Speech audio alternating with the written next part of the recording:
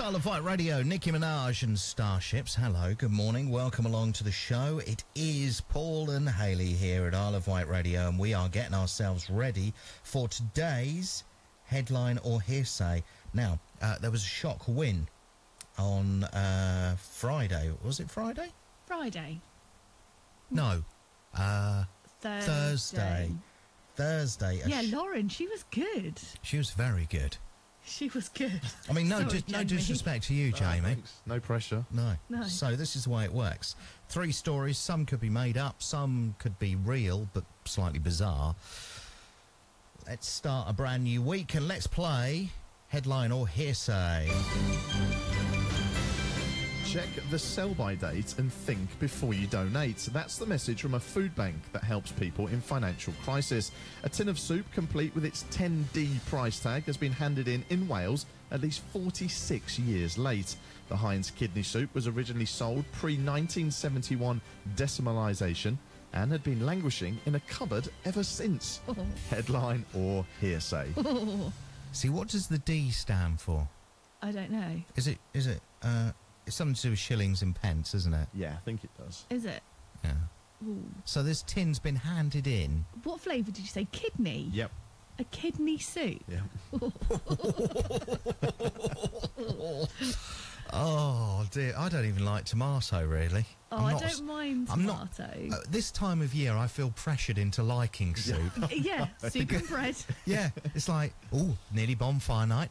Time for soup and bread. I'm like, I don't really like it, but all right then. Yeah, it's funny, isn't it? It goes back to uh, going to a bonfire party when I was uh, very young and being handed some soup in a polystyrene cup and taking a sip and burning the inside of my mouth. Every single time. Every Do single what? time. Soup, I thought roof of I'd- your mouth. Done. I thought I'd make a chicken soup once and I blended it. Oh, oh, Big mistake.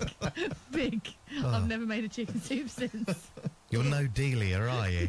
No. So, are we going headline or hearsay? I think that's a let's, Let's have a look on uh, Facebook, see uh, see what kind of messages we're getting. Have you got Facebook? Yes. Uh, so we can have a quick look. So we've got David, he's saying headline. Louise Flood is saying definitely a headline. Jade Robertson saying morning and a headline. So uh, Susan Fielder, she's saying headline. Okay, so quite a few headlines this morning. Yeah. Kirk in Huddersfield as well. Wow. Listening Okay. To be fair, I know I say this every time, but Huddersfield. I've never been to Huddersfield. Have you been to Huddersfield? I don't think I have, no. Been to Huddersfield? I've never been to I've Huddersfield. never needed it's up the- north somewhere, isn't it? Never, never got the urge to go to Huddersfield. No. Where are you going this for a holiday? Going to Hudders- Huddersfield. Anyway, uh, are we going headline or hearsay? Headline. We're going headline. Is it headline or is it hearsay, Jamie? It is a headline, Yay. correct. It is a. There we go. Okay, are we ready for the next one? Let's do it. Let's play headline or hearsay. Round two on Isle of Wight Radio. It's claimed the average 40 something spends 15.5% of their time at DIY shops. It's third on the list of weekend activities behind regular visits to the local dump, which account for 22.3. Top of the list is, according to the recent report by Lad Bible, playing games consoles.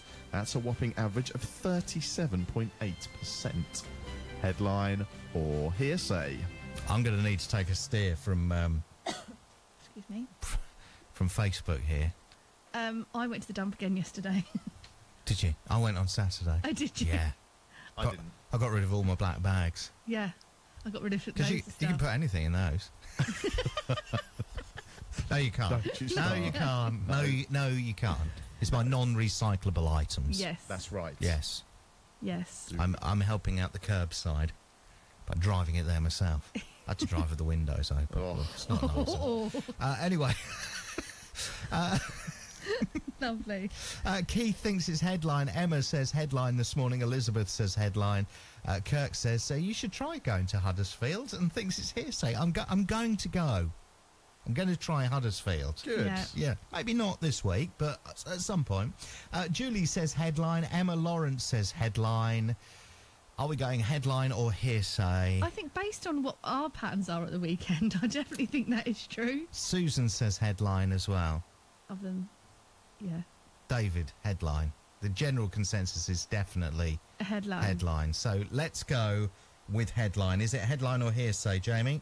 It's hearsay. Oh. No. Correct. I yeah. think you've adapted that slightly, and it's the age range. Look, it's either headline or hearsay. Well, n- well, no, you, you can't. You can't take a true story and then just just change a little bit Oh, of it. no, we're changing the rules, are we? Is that what you've done? Trust me, the news. Is that you what need- you've done? No, Just- I didn't do these actually. I'll be honest. These ones aren't my. I can't take credit for these. okay. Okay. All right. Well, All right. it's all to play for with this one. Then let's do it. Headline or hearsay. Final round. A man says a vision from God prompted him to build a huge prayer house in the shape of a dove. He ended up with a huge structure shaped like a chicken, though, instead.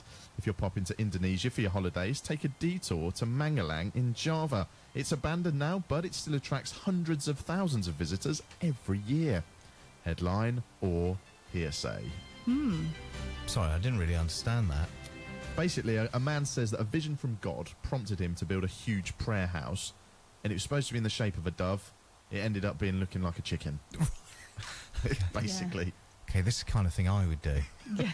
I start off with the best of intentions, and then just kind of get a little bit like, oh, Yeah. it'll be fine. It's like if I do a sketch, I st- start off thinking it's going to be one thing, It's going to be a portrait. and then I look at it and think, ah, it doesn't look anything like a horse. Um, I'll put a curly tail on it. It's a great pig. put some wheels on it. It's a great car. Just me then? Okay. No, Uh, I do as well. So what do you think? Uh, Louise says uh, headline this morning. Uh, Keith thinks it's headline as well. There's quite a few headlines coming in. Mm, I think it could be a headline as well. Are we going to go with headline? Yeah.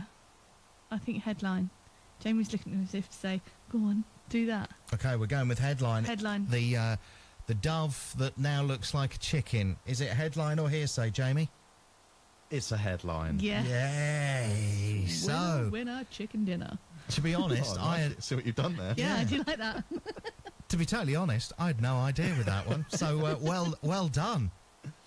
Yeah, well done. Thanks, Facebookers. Yeah, Always Jamie, like you're really not good at this. Lo- Oh, come on. I'm so pleased. I'm so pleased that Lauren, Lauren's not on every day. Well, Yeah. if Lauren had Facebook. She managed to. She managed to fool you wait everyone. tomorrow morning. Okay. Well, We're gonna going to have some taffy. I'm going to spend all afternoon doing these now. Oh, do you know what? Headline or hearsay back, same time, same place on uh, Facebook and, of course, on your radio. Uh, I'll tell you what, let's get some more tunes on, shall we? No limit in the sky that I won't fly. Then we'll have the very latest travel and headlines for you next. Many